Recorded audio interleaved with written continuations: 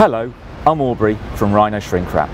The scaffolding industry has moved forward a tremendous amount in recent years with advances in safety, in technology and standards. And at Rhino we believe that sheeting should be moving forward also. I'm going to give you the most complete and honest guide to scaffold shrink wrapping and how it's different to every other product that's on the market. You can then decide for yourself if it's going to be a good fit for you and your next project and you'll be able to advise your clients as well. Today we're in Russell Square, which is right in the heart of London. We've got an installation team on site right now and we're encapsulating the scaffolding around the historic and beautiful Russell Hotel, which is right behind me here. In this video, I'm going to answer some of the questions that you might have if you're looking at shrink wrap sheeting for the first time. So the questions we're going to be answering today, what is scaffold shrink wrap? How is it different to traditional scaffold sheeting that you might have seen? And finally, why do scaffolders and contractors use shrink wrap sheeting?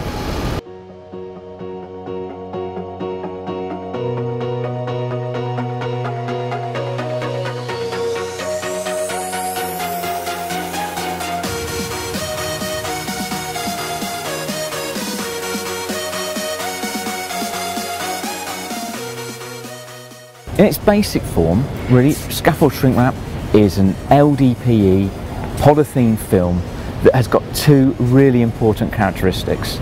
Number one, it's designed to shrink really powerfully. So that means when you put it around the scaffolding and you heat shrink it, it's going to fit really, really tightly, and that's what makes it so strong and so robust. The second feature of uh, shrink wrap sheeting is that it can be joined you know, but, and heat welded to other sheets really easily. So that means that not only is there no, there's no limit to the size or the shape of the scaffold structure that you might want to shrink wrap, but also it enables you to create really, really effective containment because really you can create a, a continuously bonded skin around the entire scaffolding.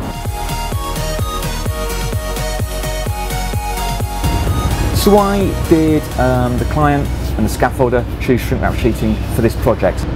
Well, firstly, as part of the refurbishment project here, the fantastic terracotta exterior of this building is going to be blasted, it's going to be cleaned, and of course here we are right in the middle of central London, and huge amount of pedestrians uh, and just you know traffic, and that blasting is obviously going to create a lot of dirt, uh, a lot of water, and the sheeting is going to contain that blast residue. Traditional sheeting, which is just put on, as I've said already, lift by lift around the scaffolding, so sort of like almost in two to three meter uh, drops or you know or wide strips around the scaffolding. There's going to be, no matter how well you fit that, there's going to be a lot more gaps for the blast residue uh, to escape from. Probably the sheeting is going to have to be up for around 12 months, and over that time, obviously, it's going to get a huge amount of battering from wind and rain. Shrink wrap sheeting obviously fits very tightly, doesn't tend to flap, doesn't tend to stretch, and so the sheeting, you know, will maintain its integrity for the full life of the project. Really, it's those two characteristics that we've talked about. The fact that you can heat shrink it, drum tight, and the fact that you can weld sheets together to create a completely sealed skin around the scaffolding. That is really the fundamental difference between scaffold shrink wrap and other products.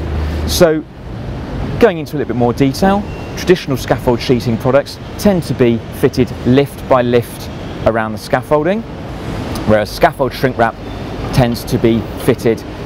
Really there's no limit to the drop that you could do but for an, an exterior scaffolding we would generally drop around six meters before uh, fixing it back to the scaffolding.